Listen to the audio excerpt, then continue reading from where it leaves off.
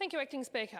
I rise to speak on this bill which amends the Drugs, Poisons and Controlled Substances Act to allow for a trial of a medically supervised injecting centre for certain kinds of drugs of dependence at the North Richmond Community Health Centre. This is a conflicting piece of legislation for me. I understand the reasons behind setting up a trial site, but I also have concerns about the message this sends to the wider community. I understand the traders and residents in Richmond are concerned and have been confronted by some horrible situations over the past few years, but I'm not convinced um, the answer is this sort of centre in the format that's being proposed. I don't think it sends the right message to the, the community at all. The argument for this trial is based around the fact that there have been 34 deaths in the area surrounding the proposed site for the past 12 months, and the number of Victorians overdosing has doubled in, since 2012. The North Richmond Community Centre uh, hands out 60,000 needles a month and has been described the, as the epicentre of the heroin problem in Victoria. But I fail to see how this proposed proposal addresses why so many people are dying, and particularly in the North Richmond area. Why is this the epicentre of the problem, and what does this proposal do to solve that? In my view, it simply moves the problem behind closed doors. I'm reluctant again to speak about my experience as a nurse, but in this area I have a great deal of knowledge and experience because for 15 years I managed an Aboriginal community health centre and worked directly with patient care and unfortunately dealing with drug and alcohol addicted clients, this was a major part of that role. So I've spent many, many days uh, work, walking, walking, patients through the journey of uh, rehab or looking for rehab beds. Um, but one thing I do know is that most of those people felt ashamed of their addiction.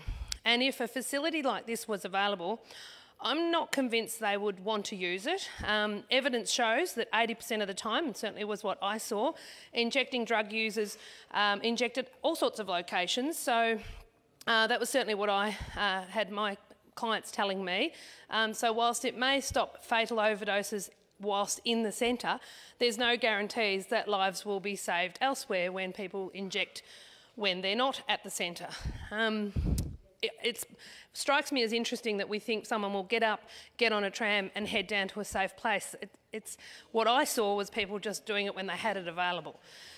But anyway, I think what works is when someone they trust and who believes in them walks them through the journey of withdrawal and rehab with them. A centre can provide that, and it's about a service being resourced and the trust and support offered by the people working in that centre and their ability to form that trust with their client.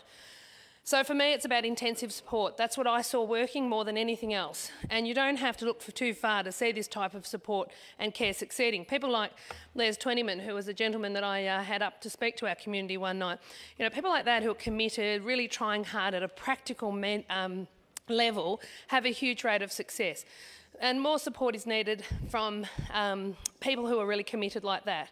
Um, so I doubt this centre would be able to deliver that by being a um, injecting centre. It's more about a wraparound centre. So in the Sydney experience, my research tells me that only 11% of injecting room clients were referred to maintenance, treatment, detox or rehab. 3.5% of clients were referred to detox and only 1% referred to rehab. So there's no evidence yet that the, from the Sydney experience that people have kicked their habit uh, in the long term. Um, it's also reported that none of the Sydney's major rehab services such as Odyssey House, WHOS or the uh, Salvation Army have ever sighted one of the referrals. You can make as many referrals as you want, but if the person you're referring to doesn't have the appropriate support and follow up on the referral uh, and someone to walk that withdrawal journey with them and help them with the rehab pathway, it simply won't work. I do hold concerns that this sends a message that we've given up. And rather than try and stop people becoming addicted or assisting them through the intensive support to be properly rehabilitated, we are simply enabling people to continue to use drugs, albeit under the supervision and behind closed doors. In my electorate, we are not immune to drug problems and we face our own series of issues, mostly around the lack of appropriate rehab places and withdrawal treatment program, which isn't fully funded and only operates Monday to Friday and not on school holidays or public holidays. This is critically failing, a critical failing that must be addressed because you don't withdraw between 9 and 5. Um, you don't have public holidays off from withdrawal and you don't have school holidays off from withdrawing. It needs a 24-hour service um, and because the demand is clearly there. There is also no locally based drug and alcohol rehabilitation bed in uh, South West Coast. Uh, the closest is over two hours away. So residential rehabilitation targets people with severe and long-standing alcohol and other drug uh, use problems who have tried other services but with limited success.